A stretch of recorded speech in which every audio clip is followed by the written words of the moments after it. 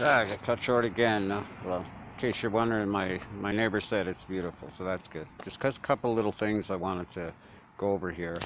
Um, these little guys here, uh, they look like decoration, but they're actually deterrents. If the female cabbage moth sees another cabbage moth, she won't lay her eggs. And uh, as you can see, the brassicas isn't there's not that many of them, but they're untouched. So these things really work. I thought it was a bit kooky at first, but they really work.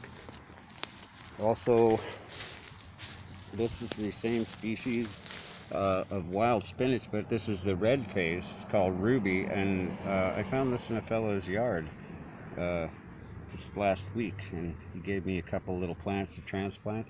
It also comes in a gold phase, which I'd really like to find. This plant matures, it's pretty big, and produce about 75,000 seeds.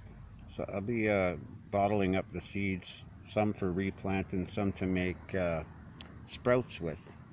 Apparently it's a common practice. So this piece of land that I'm working with here is about six feet by 20 feet. And I'm only utilizing maybe 40% of it right now. A lot of it is still pretty feral. Uh, just threw a bunch of clippings from the hedge down there and stuff just to keep the weeds under control. And that's all edible stuff growing up there but just shows what you can do. I still have this much more to go with, so I don't know how many plants in here, but there's a lot. There's 12 corn in each one of those clusters, and they're doing really well for our climate. It's very difficult to grow corn in Calgary. But anyway, there it is. Back alley permaculture, weed patch, reclamation garden. Hope you enjoyed it.